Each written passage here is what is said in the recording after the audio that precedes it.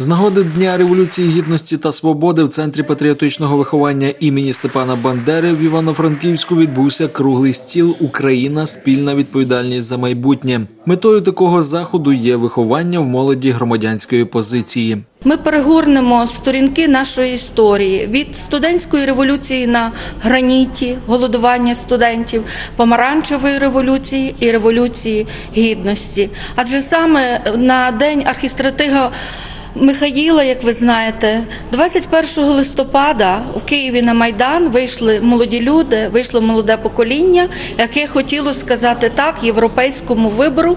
І ці події 2013 року назавжди нас змінили. Бажання змін це те, що спонукало студентів в далекому 90-му році до революції на граніті. Єдиний чинник, який гальмує процес змін, це відсутність контролю за діями народних обранців, кажуть учасники революцій та цього круглого столу. А Якщо говорити про сьогодення, то і говорити про 90-ті роки, то ситуація кардинально змінена.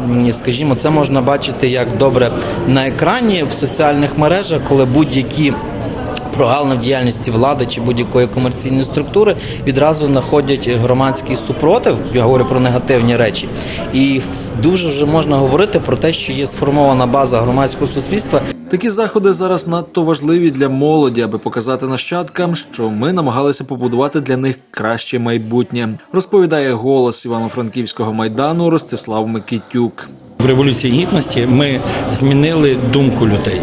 Ми змінили думку про своє особисте я, що е, громадяни можуть міняти державу. Учасники революційних подій в Україні 90-го-2004 років революції гідності майже одноголосно відзначили, що боротьба за Україну та її гідне майбутнє тільки розпочалася, і важливо, аби молодь якнайшвидше це усвідомила.